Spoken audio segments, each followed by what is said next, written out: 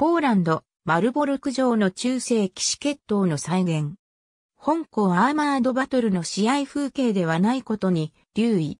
ウクライナのキエフ対抗国公園で行われた、イン CF 主催のアーマードバトル国際大会。アーマードバトルとは、かつて14から15世紀の中世後期ヨーロッパに実在した鎧をデザインや材質など可能な限り史実に忠実に再現し、ギャンベゾンの上にこれを装備して戦うスポーツである。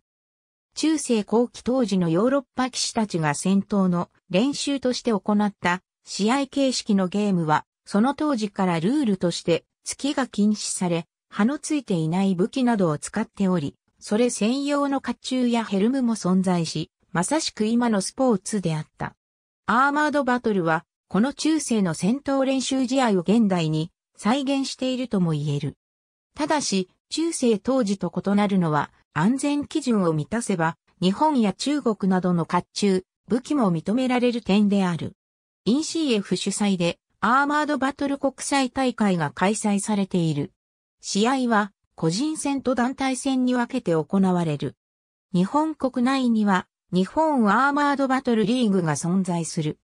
そこで行われるバトルには、ポールウェポン、ロングソード、ソードといった競技用のツールを使用するが、これらには日本の法律とリーグの安全規格にのっとり、素材や重量、エッジの丸みなど、厳格な基準が課せられている。スティール、ヒーローズエキシビジョンマッチ2017年は5月25日から28日まで、デンマークにて開催されたアーマードバトルのルール甲冑で決闘。ウームでも行われる新競技、アーマードバトルとは ?J ベルトは騎士 VS 武士、甲冑まといバトル新格闘技上陸 EN、ナイツ VS、サムライ、イッツザウルティメイトクロシングオブソーズ。ありがとうございます。